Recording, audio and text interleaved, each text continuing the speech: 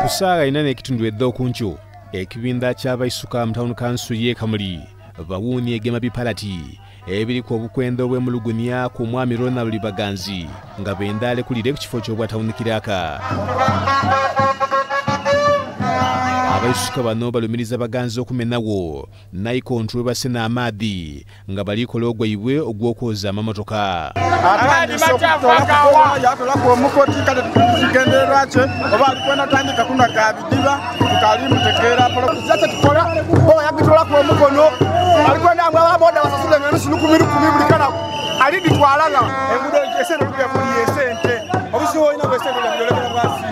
abaganza ayogerwako aweereza mu kampala kanso council era ng'obwatawunikira yakavumalaku akabumalako emyaka ikumi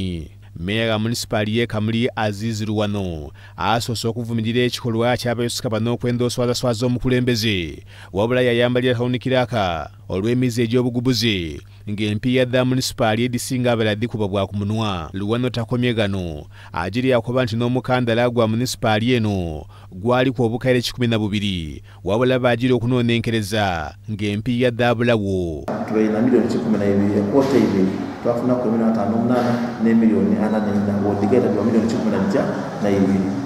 sawa dimo bwobuuza esente edaaja nga tukalikola mirimu nga mm, twasasola kwa lukoloniganga bonka emiliyoni itaano ngaate nemiliyoni itaano christmas baali bakali kusasula nga bakoze emyezi ena n'abafost n'abagona ne batambulako nakantwana abakazole balanzi bana bakoze emyezi ena bajja mu christmas nga bazira sente ate batandi sisitimu ejamu mungi abantu akwenda sente bangi so tulisaba meya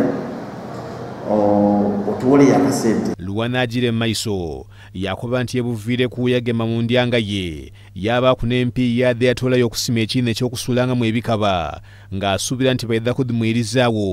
wabula kyamala enviri ku mutwe empi y'olwayidda tawunikiraaka yadde ekubira ku munwa ono era asinziirano yalayira nti wakiri waakufiirwa ekifo kyekyobwameeya singa tawunikiraaka ono